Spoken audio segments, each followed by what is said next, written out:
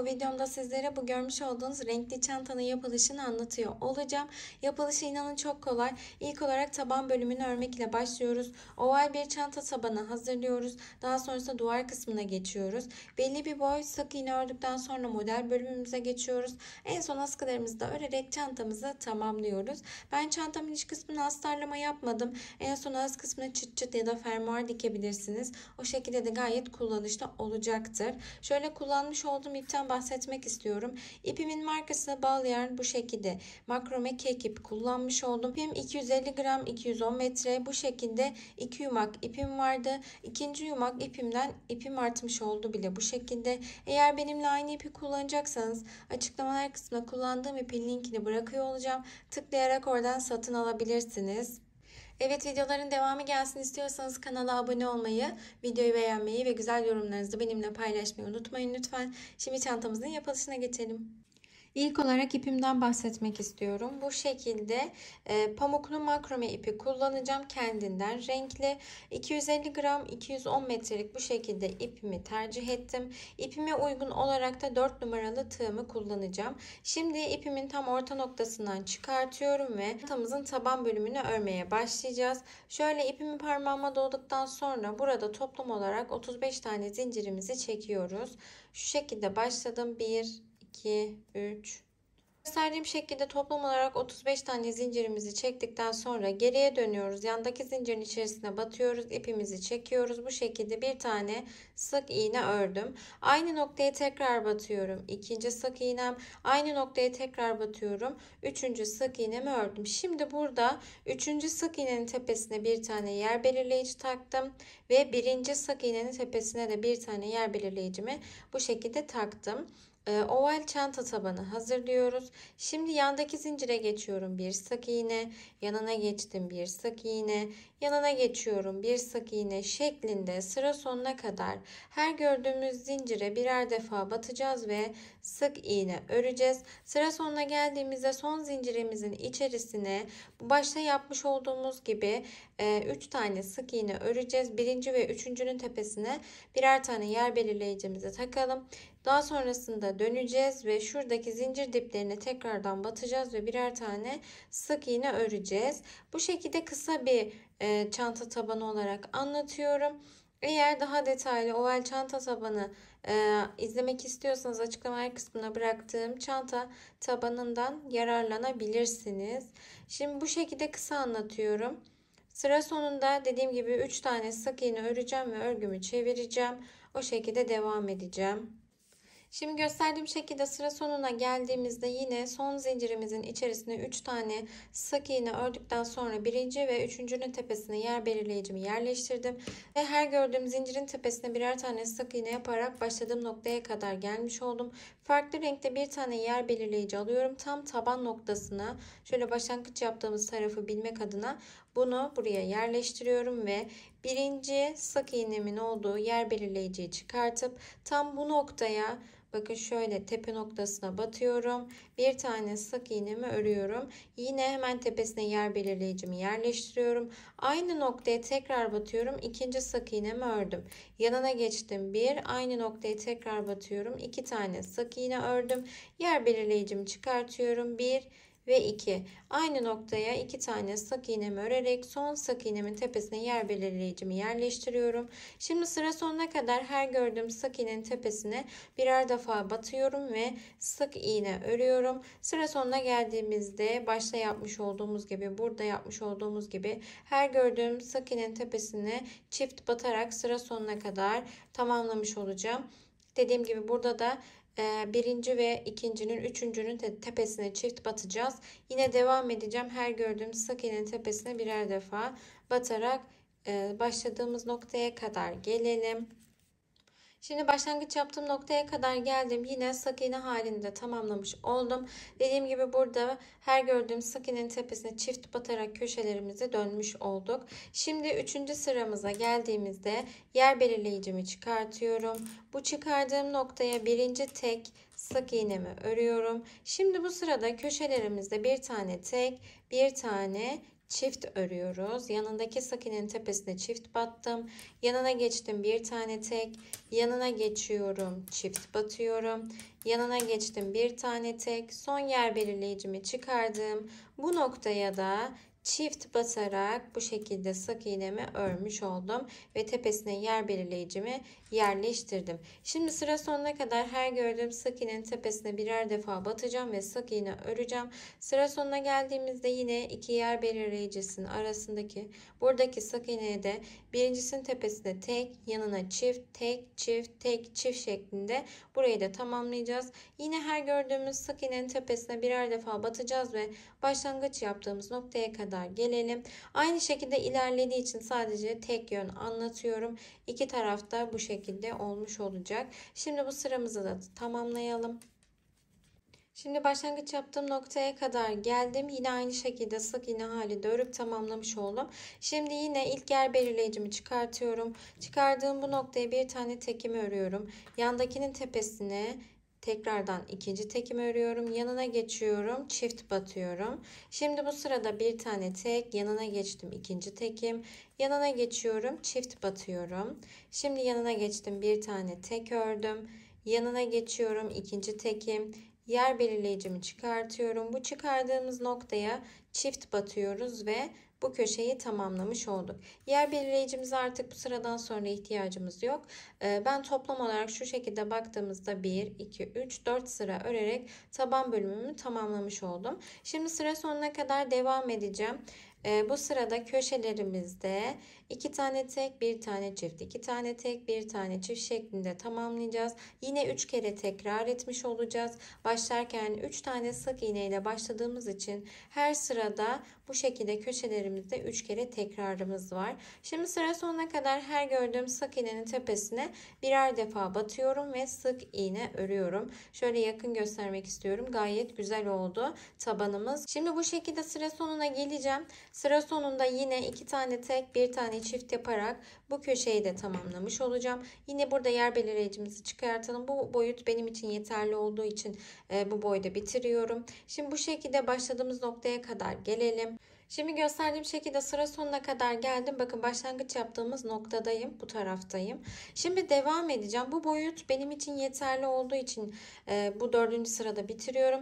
Eğer bu boyut sizin için yeterli değilse şu şekilde ilerleyebilirsiniz. Hemen bu kısaca bundan bahsetmek istiyorum. En son iki tane tek bir tane çift. iki tane tek bir tane çift yapmıştık. E, bir sonraki sıramızda üç tane tek bir tane çift. Üç tane tek bir tane çift şeklinde devam edecek. Bu şekilde yani yani mantık bu. Her bir sonraki sıramızda teklerimiz artıyor. Çiftlerimiz zaten üst üste denk geliyor. 4 tane tek bir tane çift şeklinde. Daha sonra 5 tane tek bir tane çift. Her bir sonraki sıra bu şekilde ilerlemiş olacak. Şimdi çantamızın artık model bölümüne geçiyoruz. Bakın başlangıç yaptım. Burası artık herhangi bir arttırma yapmadan Bakın her gördüğüm sık iğnenin tepesine birer defa batıyorum ve sık iğne örüyorum. Her bir sık iğnenin tepesine birer defa batacağım. Sık iğne öreceğim. Bakın kıvrılmaya başladı bile. Bu şekilde ördükçe yukarıya doğru çanta formunu almış olacak. Şimdi belirli bir boya gelene kadar sık iğne öreceğim. Her gördüğüm sık iğnenin tepesine birer defa batıp sık iğne örüyorum. Farklı bir şey yapmayacağız. Bakın yer belirleyicimiz burada kalsın tabandaki e, hangi taraf bizim başlangıç yaptığımız taraf olduğunu anlamak için onu orada bırakıyoruz. Şimdi bu şekilde çantamın duvar kısmının sık iğne bölümünü istediğim uzunluğa gelene kadar örüp tamamlayacağım. Böyle yukarıya doğru çıkmış olacak. Şimdi upuzun bağlantı noktamızda olmadığı için döne döne istediğim uzunluğa gelene kadar sık iğnelerimi örüyorum. Şimdi çantamın duvar kısmının sık iğne bölümünü istediğim uzunluğa gelene kadar örüp tamamladım. Burada size santim ölçüsü vermek istiyorum. Fikir olması açısından hem tabandan şöyle bir ölçü vereceğim hem de duvar kısmından ölçü vereceğim.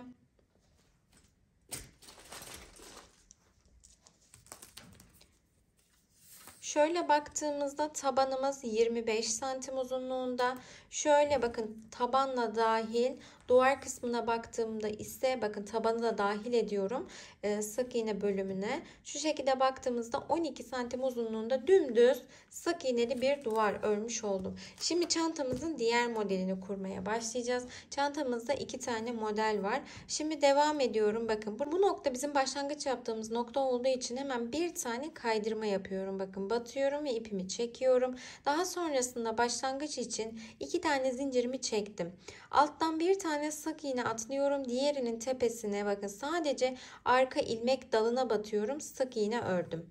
Bir zincir çekiyorum. Yandan bir tane sık iğne atlıyorum. Diğerinin sadece arka ilmek dalına bakın. Şu noktaya batıyorum. İpimi çekiyorum. Bir tane sık iğnemi ördüm. Bakın bu şekilde olacak.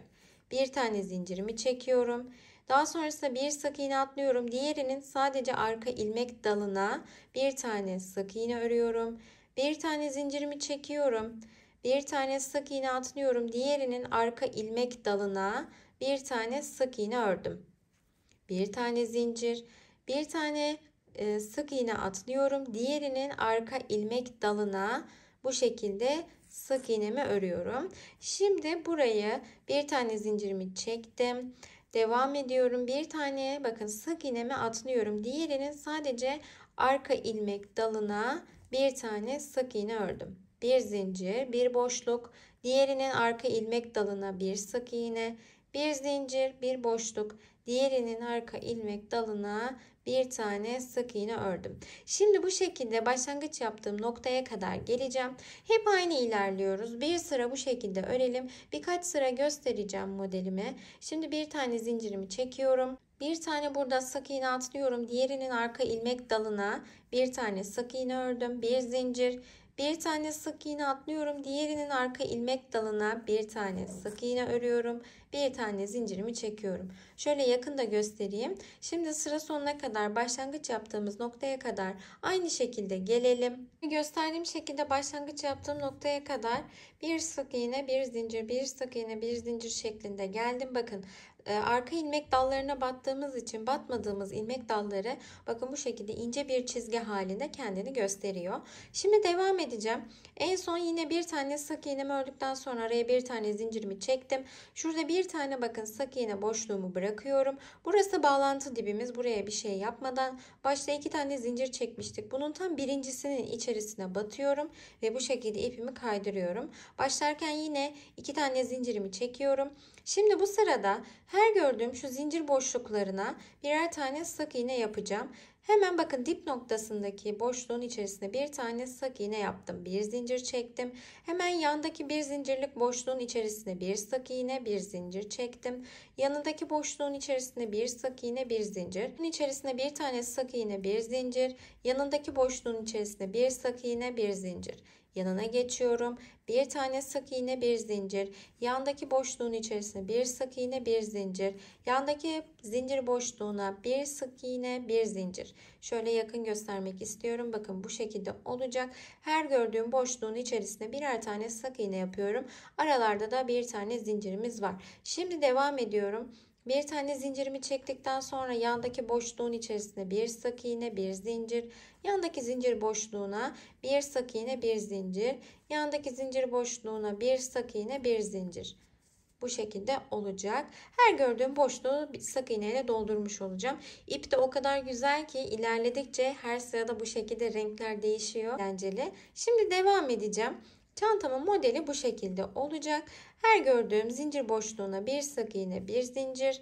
Her gördüğüm zincir boşluğuna bir sık iğne, bir zincir. Yanına geçiyorum. Bir sık iğne, bir zincir. Şimdi çantamızı istediğimiz uzunluğa gelene kadar bu şekilde devam edeceğiz. Sıra sonunda göstermiş olduğum birinci zincirin içerisine batıp daha sonrasında kaydırmamızı yapıyoruz. Ekstra iki tane zincirimizi çekip sıramızı devam etmiş olacağız.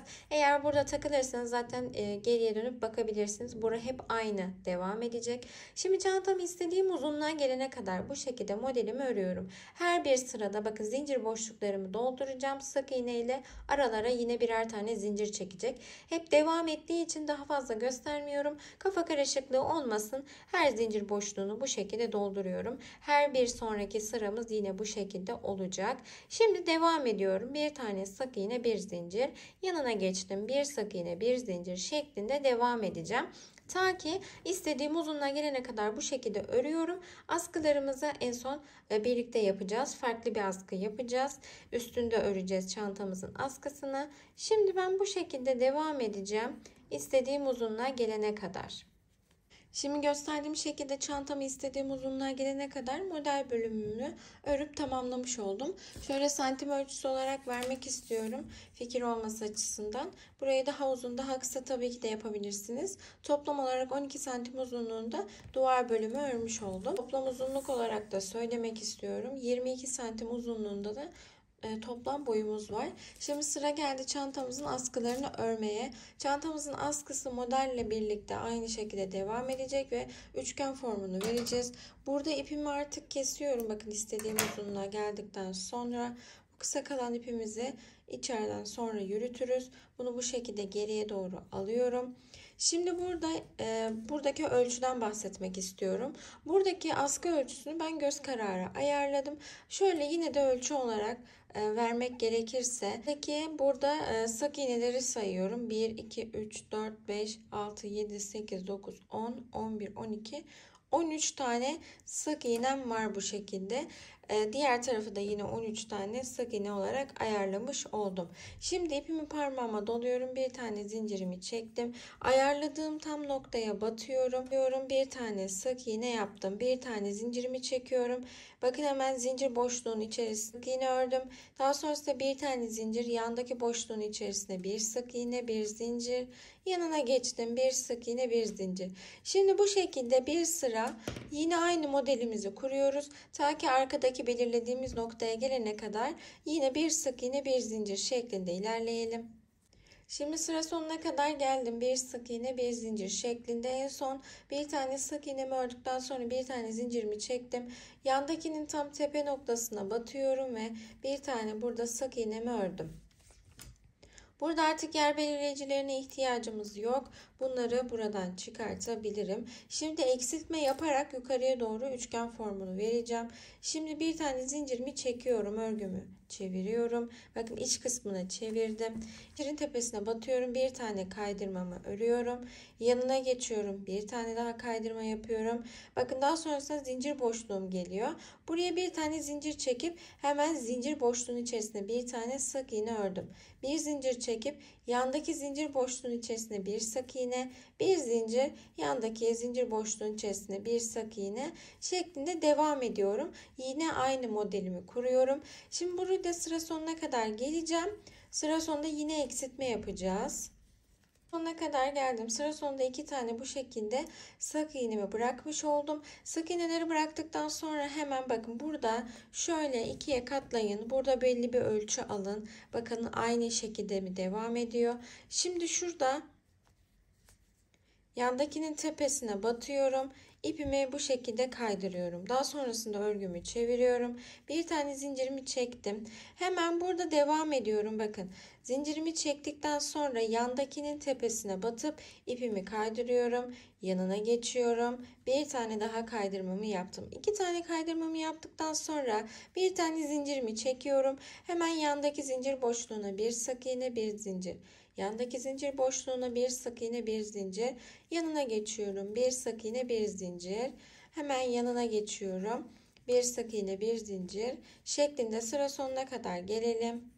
Gösterdiğim şekilde sıra sonuna kadar geldim. Burada da yine iki tane sık iğnemi bıraktıktan sonra bir tane zincirimi çekip örgümü çeviriyorum. Hemen yandaki dip noktasına batıyorum. Bir tane kaydırmamı yapıyorum. Yanına geçiyorum. İkinci kaydırmamı yaptıktan sonra bir tane zincirimi çekip hemen yandaki boşluğun içerisinde bir tane sık iğne ördüm.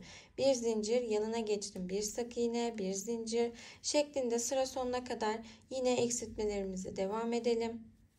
Şimdi gösterdiğim şekilde sıra sonuna kadar geldim. Yine iki tane sık iğnemi bıraktıktan sonra bir tane zincirimi çektim. Örgümü çeviriyorum. Şimdi yine yanındaki noktaya batıp bir kaydırma yanına geçiyorum. İkinci kaydırmamı yapıyorum. Daha sonrasında bir tane zincirimi çekip yandaki boşluğun içerisine bir sık iğne, bir zincir. Yanına geçtim. Bir sık iğne, bir zincir. yanına geçiyorum bir sık iğne bir zincir sıra sonuna kadar devam edelim Şimdi sıra sonuna kadar geldim. Yine iki tane sık iğnemi bıraktıktan sonra bir tane zincirimi çekiyorum. Örgümü şu şekilde çeviriyorum. Burada askının kalınlığını kendiniz de belirleyebilirsiniz. Benim için yeterli dediğiniz noktada sık iğne bölümüne geçebilirsiniz. Şimdi ben devam ediyorum. Bir sıra daha eksiltmemi yapacağım. Yine aynı şekilde yandakinin tepesine batıp kaydırmamı yapıp diğerinin tepesine yine kaydırmamı yaptım. Bir zincir çektim. Yandaki boşluğun içerisine bir sık iğne, bir zincir. Yandaki boşluğun içerisine bir sık iğne, bir zincir. Yanına geçtim. Bir sık iğne, bir zincir şeklinde sıra sonuna kadar geliyorum. Sıra sonuna kadar geldim. Yine iki tane sık iğnemi bıraktıktan sonra bakın şöyle bir ölçü alıyorum. Bu ölçü benim için yeterli. Şimdi artık şöyle sayı olarak vermek istiyorum. 1, 2, 3, 4, 5 tane bu şekilde eksiltmemizi yapmış olduk. Şimdi burada devam edeceğim. Ee, her gördüm şimdi sıra sonunda bir tane zincirimi çekip sık iğnenin tepesine birer defa batıyorum ve sık iğne örüyorum burada. Yanına geçtim bir sık iğne. Yanına geçiyorum. Zincir boşluğumuza geldiğimizde de yine bir tane sık iğne örüyoruz. Bu şekilde sıra sonuna kadar geleyim. Yine bir üst sıraya çıkmayı göstereceğim. Şimdi sıra sonuna kadar geldim. Her birinin tepesine birer defa batarak sık iğne ördük. Bakın bu şekilde. Şimdi bir tane zincirimizi çekiyoruz. Örgümüzü çeviriyoruz. Hemen çevirdikten sonra dip noktasına değil yandaki sık iğnenin tepesine bir sık iğne yanına geçiyorum bir sık iğne yanına geçiyorum bir sık iğne şeklinde burayı istediğimiz uzunluğa gelene kadar hep artık sık iğne halinde öreceğiz. Şöyle ölçü olarak göstermek istiyorum. Tam orta noktasına gelene kadar devam ediyorum. Diğer askıyla uçlarını daha sonrasında birleştirme yapacağız. Şöyle göstereyim. Şimdi burayı sık iğne halinde öreceğiz. Burayı bu şekilde yaptıktan sonra diğer askımızda yine aynı şekilde burada ipimizi bağlayıp eksilterek üçgen formunu vereceğiz ve en son yine sık iğneli halinde bir askı ucu örerek uç kısımlarından birleştirmeyi yapacağız. Ben şimdi buraları tamamlayayım. Zaten diğer askıda bunun gibi olduğu için burayı ekstra anlatmıyorum. Yine aynı şekilde buradaki sık iğne bölümümü öreceğim. Diğer askımı da örüp iki ucu birlikte birleştirelim. Şimdi gösterdiğim şekilde askılarımı da tamamladım. Bakın dümdüz bir parça örmüş olduk yukarıya doğru. Bunun santim ölçüsünü de vermek istiyorum. Yine fikir olması açısından. Şöyle baktığımızda bakın tam eksiltme yaptıktan sonra dümdüz ördüğüm kısım 23 santim uzunluğunda örüp tamamlamış oldum. Uç kısmında şöyle ipimi bıraktım. Diğer tarafta bırakmadan şöyle ipimi keseceğim ve iki ucu birlikte birleştirmiş olacağım. Dikeceğim bu kısmı. Böyle ayırmış olduğum ipime yün iğnemi yerleştiriyorum. Şöyle iki ucu birbirine denk getiriyorum. İç kısmından dikeceğim. Bakın şöyle bir bir ilmek buradan battım. Burayı sabitledim. Daha sonrasında bir ilmek buradan alıyorum. Burayı sabitliyorum. Bu şekilde denk gelen bütün ilmeklerimi birbirlerine sabitliyorum. Zaten eşit bir şekilde ördüğüm için burası denk gelecektir. Şimdi sıra sonuna kadar ilmeklerimi birleştiriyorum. Şimdi sıra sonuna kadar birleştirmeyi tamamladım. Şöyle kısa kalan iplerimi bir tane düğüm atıyorum iyice sağlam olması adına ve şöyle geriye doğru yürüteceğim. Bakın şöyle aralardan geçiriyorum. Geriye doğru yürütüyorum.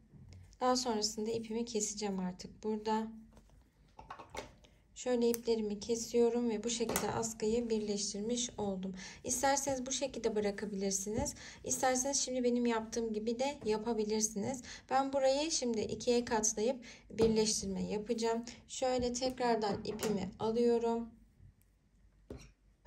Dikiş için ipimi iğneme geçirdikten sonra uç kısmından bir tane düğümümü atıyorum ve sadece bakın şu kısmı birleştireceğim askı bölümünü. Burayı üçgen bölümü birleştirmiyorum. Tam kenar bölümünden ipimi sabitledim. Karşı noktasına batıyorum. Burayı sabitliyorum. Şimdi bir ilmek buradan bir ilmek karşılık gelen noktasına batıyorum ipimi sabitledim. Şimdi burayı komple birleştireceğim ta ki şu noktaya gelene kadar. Bakın bir ilmek buradan batıyorum. Bir ilmek karşılık gelen noktasına batıyorum. Dikiyorum. Bakın bu şekilde sıra sonuna kadar birleştirmemizi tamamlayalım. Gösterdiğim şekilde askımı iç kısmından dikerek birleştirmiş oldum ve bu şekilde çantamı tamamladım. En son ağız kısmına bir tane çıt çıt dikebilirsiniz, düğme dikebilirsiniz. O şekilde de gayet kullanışlı olacaktır. İç kısmına astarlama yapmadım. Zaten astara ihtiyaç olmayan bir çanta oldu. Evet yapacak olanlara şimdiden kolay gelsin. Videoyu beğenmeyi, kanala abone olmayı ve güzel yorumlarınızı benimle paylaşmayı unutmayın lütfen. Bir sonraki videoda görüşmek üzere. Hoşçakalın.